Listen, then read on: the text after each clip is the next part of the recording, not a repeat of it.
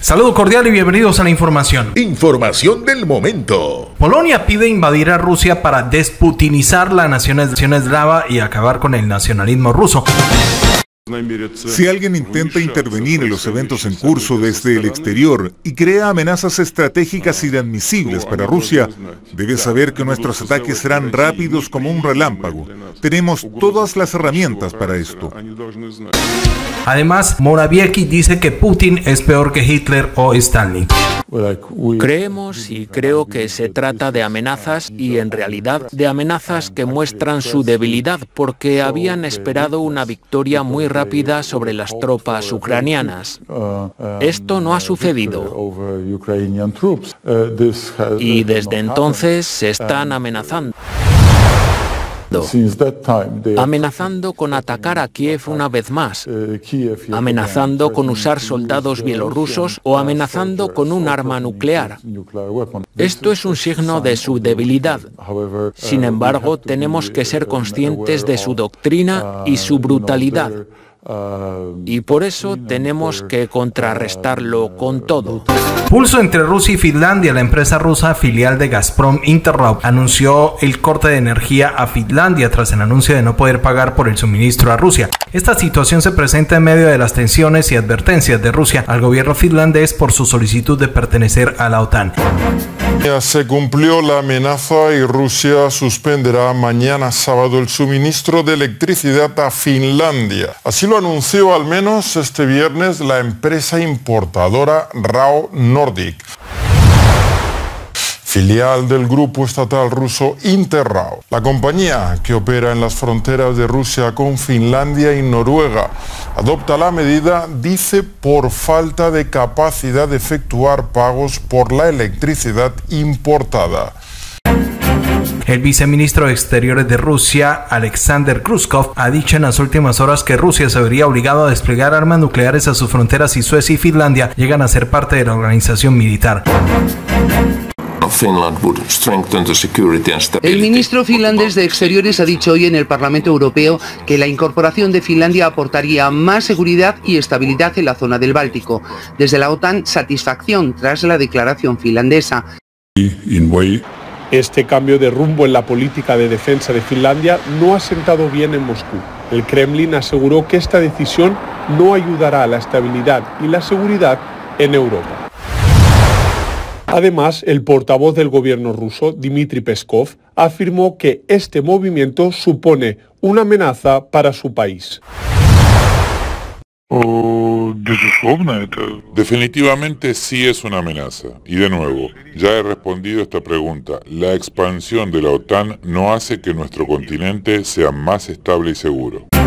Hubo conversación telefónica entre el ministro de la Defensa de Rusia, Sergei Shoigu, y el secretario de la Defensa de Estados Unidos, Lloyd Austin. ¿De qué hablaron? Ya les contamos.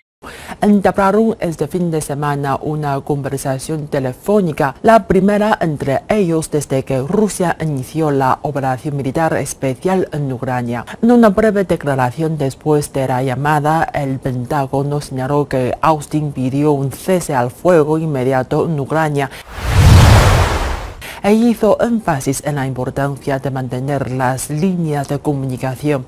Por su parte, el Ministerio de Defensa de Rusia señaló que Shoigu y Austin discutieron temas de actualidad de seguridad internacional, incluyendo la situación en Ucrania.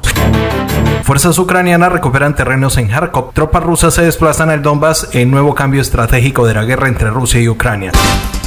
El ejército ucraniano ha informado que desde principios de mayo ha logrado recuperar más de una decena de pueblos en el este de Kharkov y que en esa zona Rusia ha entrado en modo defensivo. Sin embargo, en otras zonas como en la región de Donetsk, los ataques son constantes, según señala el gobernador mientras Rusia dice seguir con su destrucción de objetivos militares y con la rusificación de territorios como Gerson, donde las autoridades prorrusas impuestas por Moscú planean incluir a la zona como una provincia de pleno derecho de Rusia. En Gerson piden ser parte de Rusia y desde el gabinete de Putin responden ante esta situación. El ministro de Asuntos Exteriores de Rusia, Sergei Lavrov, ha reiterado este sábado que los países occidentales están dispuestos a contrarrestar a Rusia hasta el último ucraniano. Uh, conclusions. The choice we're making now, it has already been made, and uh, it's uh, that the collective uh, West has uh, announced a total hybrid war on us.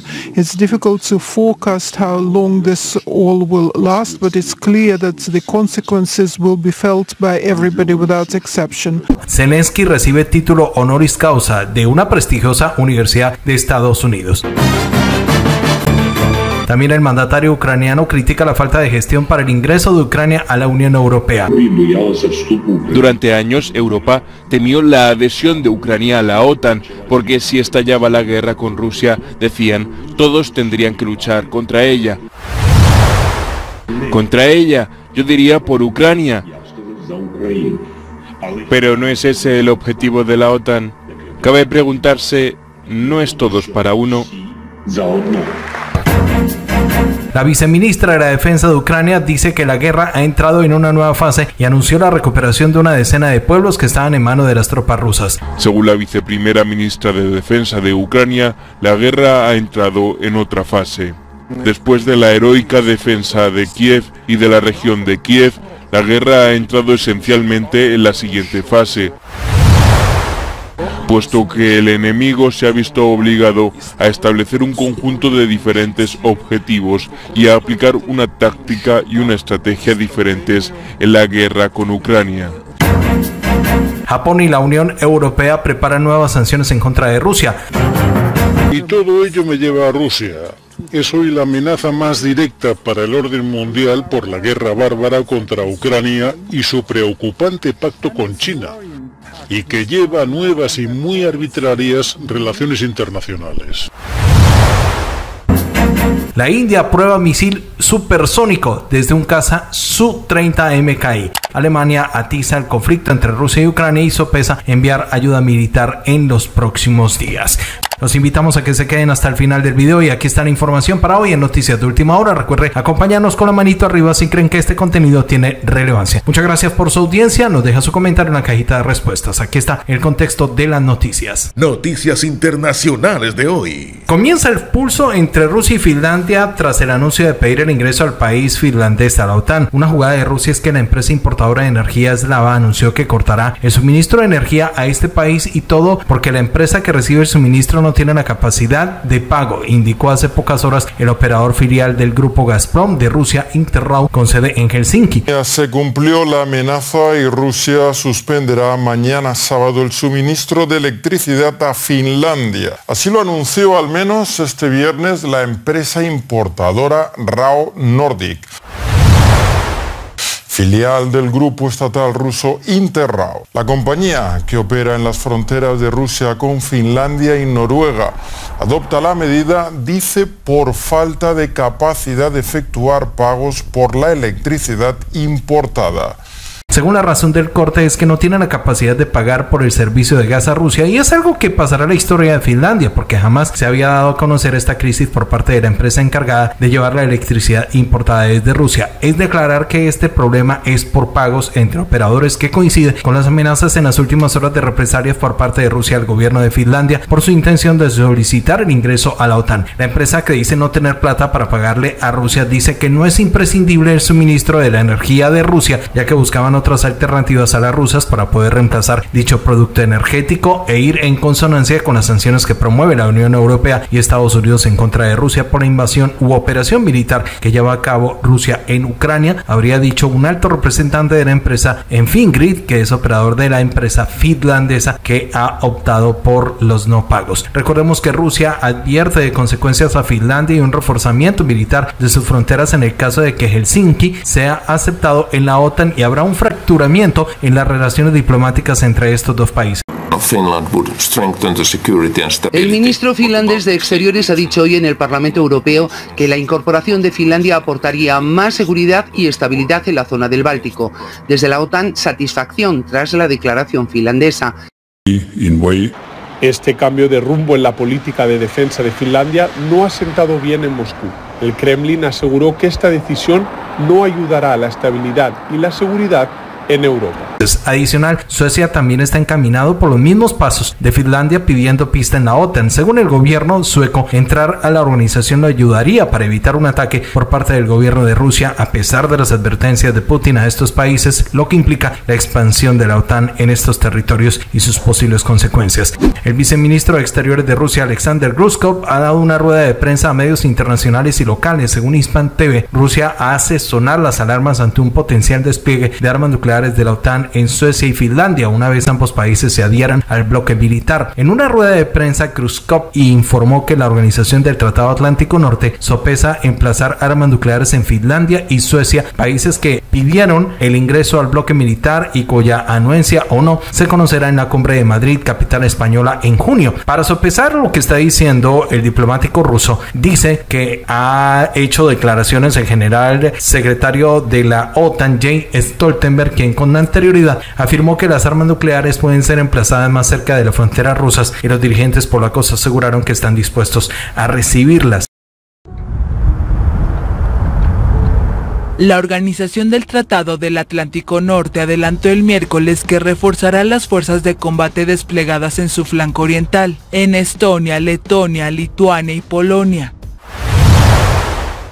Además quiere desplegar cuatro nuevos grupos en Bulgaria, Hungría, Rumania y Eslovaquia.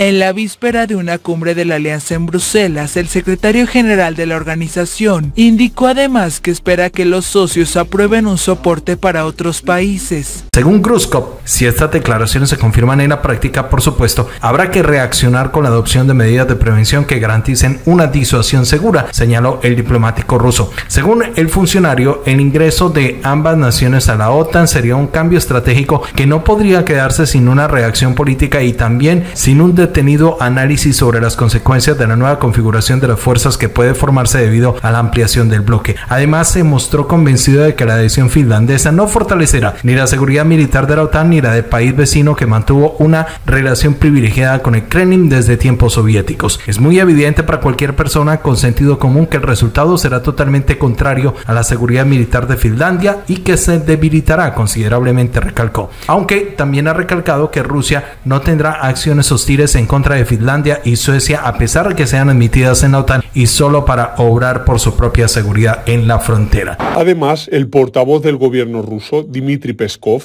afirmó que este movimiento supone una amenaza para su país. Definitivamente sí es una amenaza. Y de nuevo, ya he respondido esta pregunta. La expansión de la OTAN no hace que nuestro continente sea más estable y seguro. El presidente de Polonia en las últimas horas puso un revolcón político mundial tras sus declaraciones donde reseña que es hora de que comience la invasión a Rusia y acabar con los nacionalistas rusos para librar al mundo de Putin. Literalmente es lo que ha dicho el mandatario polaco y ahora pide que se acabe con Putin por lo que lo compara con el nuevo Hitler en el mundo. Recordemos que Rusia ya ha enviado misiles de largo y corto alcance con capacidad nuclear a la frontera con Bielorrusia y podrían apuntar a Polonia, Finlandia y en defecto a Suecia y a tiro con el continente europeo. Esto se da el mismo día que Finlandia anunció su intención de entrar a la OTAN y sale esta perlita por parte del ministro Morawiecki, antirruso por demás, que ha pedido invadir a Rusia y lo tendría a tiro primero con Bielorrusia. Tendría que ir primero a invadir el país de Y por obvias razones pues Putin respondería por ser un aliado estratégico de la Federación de Rusia. Y como Polonia es miembro de la OTAN, escuchen esto, estaríamos hablando de que si se diera este panorama se iniciaría inminentemente una tercera guerra mundial, que Dios jamás nunca lo permita. Y señores, habría que encender las alarmas porque esto sería escalar a un nivel mucho mayor y para entrar en contexto, esta historia se da por una publicación que el polaco insinúa en que hay que meter más sanciones aplastantes en contra del oso del Kremlin, la campaña que viene haciendo se llama Polonia Stop Russian Now, donde muestran el nivel de la guerra con imágenes de la destrucción en Ucrania y convencer a los países europeos de lo malo que es Rusia para el mundo. Pero una pregunta que muchos se hacen ante esta situación es que ha hecho Morawiecki por evitar la guerra y buscar buscar una solución negociada al conflicto? Parece que nada, o por lo menos eso dicen los expertos que critican las sugerencias de Polonia al bloque militar de tomar acciones en contra de Rusia. Y con estas declaraciones muchos analistas que les parece de por sí insólito lo que está promoviendo, y es que piden a los países europeos que vayan y ataquen a Rusia en conjunto con los Estados Unidos. Según Morawiecki, la intención sería destruir el nacionalismo ruso, ya que sería una amenaza mortal para el mundo y para Occidente. El ministro polaco dice que la desputinización de Rusia se debe de comenzar inmediatamente y advierte que de no hacerse el alma estaría en peligro y acusa que Rusia tiene una política maligna y altamente peligrosa. Y escuchen estas declaraciones de Morawiecki diciendo que Rusia es una nación con ideología imperialista que puede ser comparado con el comunismo y nazismo del siglo XX a través del cual, según Morawiecki, Rusia a través del cual está justificando derechos inventados para los eslavos. Les pregunto a ustedes, ¿qué creen? ¿Tiene sentido las declaraciones de Morawiecki sobre el imperialismo ruso en el mundo? Leemos sus comentarios, por favor, que son importantes para nosotros. Además, Morawiecki dice que el nacionalismo ruso es un cáncer que está consumiendo no solamente la mayoría de la sociedad rusa, sino que también representa una amenaza mortal para Europa. Escuchen este dato, las sanciones que están colocando Estados Unidos y la Unión Europea está llevando a una depresión económica a los aliados europeos y con efectos a la economía de los Estados Unidos. Pues ya hay informes que en Inglaterra está en aumento la pobreza alimentaria derivado de las sanciones y esto realmente hunde a Europa y a Morawiecki le está echando la culpa a Rusia, diciendo que se debe de erradicar esta ideología monstruosa y también asegura que Putin es más peligroso que Hitler y que Stalin por su invasión a Ucrania. Recordemos que Rusia le reclama el hecho de que la ONU nunca tuvo un pronunciamiento oficial ni los Estados Unidos ni los países europeos de todo lo que pasó en el Donbass después del 2014 y por eso tuvieron que reconocer las autoproclamadas repúblicas del Donetsk y Lugansk para poder ayudar militarmente a esta zona para que comenzara la denazificación de el Donbass en Ucrania. Estos hechos pues obviamente son catalogados como la invasión por parte de Estados Unidos, por parte de Ucrania y el mundo occidental. Y esto sucede luego de pedir en repetidas ocasiones Rusia garantías de seguridad para su nación a la OTAN sin tener una respuesta positiva del caso. Mucha atención porque según TASS, la situación en Ucrania fue uno de los temas discutidos por teléfono entre el ministro de la Defensa de Rusia, Sergei Shoigu, y el secretario de la Defensa de los Estados Unidos, Lloyd Austin, el viernes, dijo el Ministerio de la Defensa ruso. Entablaron este fin de semana una conversación telefónica, la primera entre ellos desde que Rusia inició la operación militar especial en Ucrania. En una breve declaración después de la llamada, el Pentágono señaló que Austin pidió un cese al fuego inmediato en Ucrania e hizo énfasis en la importancia de mantener las líneas de comunicación. Por su parte, el Ministerio de Defensa de Rusia señaló que Shoigu y Austin discutieron temas de actualidad de seguridad internacional, incluyendo la situación en Ucrania. Según el ministerio, el ministro de la Defensa ruso Sergei Shoigu mantuvo conversaciones telefónicas con el secretario de la Defensa de Estados Unidos, Lloyd Austin, por iniciativa de la parte estadounidense. Las partes discutieron temas de seguridad internacional, incluido lo que está pasando en Ucrania. El portavoz del Pentágono John Kirby dijo que el ministro de la Defensa ruso Sergei Shoigu y también el jefe del Estado Mayor ruso Valery Gerasimov se negaron a hablar por teléfono con el jefe del Pentágono Lloyd Austin y el presidente del Estado Mayor Conjunto de los Estados Unidos Mark Milley. Medios internacionales apuntan que las tropas rusas que estaban luchando con las fuerzas ucranianas en Kharkov están siendo desplazadas al este de Ucrania, específicamente en el Donbass, pero por parte de Ucrania aseguran que son las responsables del destierro de las tropas eslavas por su fuerte resistencia y porque conocen mejor el terreno que los rusos. Fuerzas ucranianas recuperan terrenos en Kharkov. Tropas rusas se desplazan al Donbass en nuevo cambio estratégico de la guerra entre Rusia y Ucrania. El ejército ucraniano ha informado que desde principios de mayo ha logrado recuperar más de una decena de pueblos en el este de Kharkov y que en esa zona Rusia ha entrado en modo defensivo. Sin embargo, en otras zonas como en la región de Donetsk, los ataques son constantes, según señala el gobernador mientras Rusia dice seguir con su destrucción de objetivos militares y con la rusificación de territorios como Gerson, donde las autoridades prorrusas impuestas por Moscú planean incluir a la zona como una provincia de pleno derecho de Rusia. En el Donbass, el ejército ruso sigue atacando a las fuerzas ucranianas con un intenso bombardeo a los puntos de concentración del ejército de Zelensky y lentamente siguen tomando territorios, mientras que por el lado de la ciudad de Gerson, esta zona que está siendo controlada por las tropas rusas, allí el ejército de Rusia sigue mostrando imágenes de la ayuda humanitaria alimentaria para sus habitantes. Algunos funcionarios de este territorio en Gerson han dicho que están planeando solicitar la anexión de la ciudad eh, ucraniana a Rusia, algo que no cae muy bien a las tordas de Zelensky, pues en repetidas ocasiones han dicho que no cederán un centímetro del territorio ucraniano a Putin. Incluso en las últimas horas el portavoz del presidente de Rusia, Dmitry Peskov, ha dicho a los medios de comunicación local respecto a este pronunciamiento que la gente de Gerson son ellos los que tienen que decidir si quieren pertenecer a Rusia, pero para que esto pueda ser real debe tener una base legal. Mucha atención porque según TAS, el grupo de naciones del G7, donde está Reino Unido, Alemania, Italia, Canadá, Estados Unidos, Francia y Japón, están listos para poner más sanciones contra Rusia, sus representantes, instituciones y para continuar los esfuerzos del aislamiento político y económico de Moscú, según un comunicado por los ministros de Relaciones Exteriores de los estados del G7, aprobado el sábado, luego una reunión de tres días en el municipio de Wangels, en el norte de Alemania.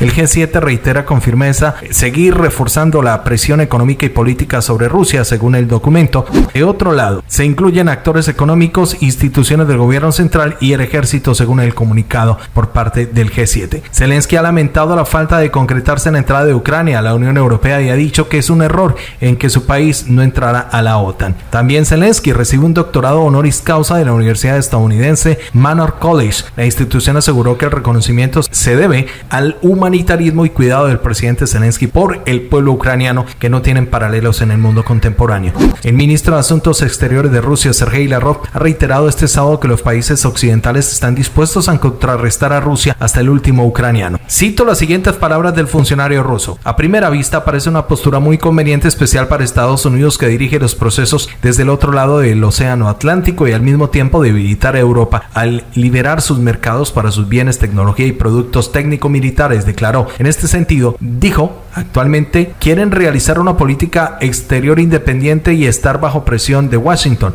En particular, aludió a la Unión Europea que en materia de seguridad está fusionándose paulatinamente con la OTAN, quedando bajo la OTAN. Los que piensan diferente serán castigados. Está claro que no se trata solo de Rusia, se ataca a cualquiera que sea capaz de llevar a cabo una política independiente. Lavrov anunció la llamada estrategia sobre el Indo-Pacífico de Estados Unidos que tiene un enfoque anti-chino, además denunció que la OTAN persigue incluir la India en su entorno, al tiempo que los representantes del bloque aseguran la responsabilidad por la seguridad en dicha región y mover fronteras de la alianza a la zona del mar de China Meridional. El ministro también afirmó que está permitido cualquier acto hostil contra Moscú, incluido el robo descarado de sus reservas. Sin embargo, los intentos de aislar a Rusia están condenados al fracaso. Muchos expertos ya lo están admitiendo, según Lavrov, por ahora en silencio entre bastidores, porque no es políticamente correcto decirlo en voz alta, pero está ocurriendo. El canciller calificó las acciones de Occidente como piratería estatal y advirtió que ahora nadie puede sentirse seguro. Nadie es inmune a la expropiación o la piratería estatal, de hecho, por lo que no solo Rusia, sino muchos otros están reduciendo su dependencia del dólar estadounidense, la tecnología y los mercados occidentales. El occidente colectivo nos ha declarado la guerra híbrida total y es difícil predecir cuánto durará, pero esto está claro, que las consecuencias las sentirán todos sin excepción, señaló el ministro durante una reunión del Consejo de Política Exterior. Uh, conclusions. The choice we're making now, it has already been made,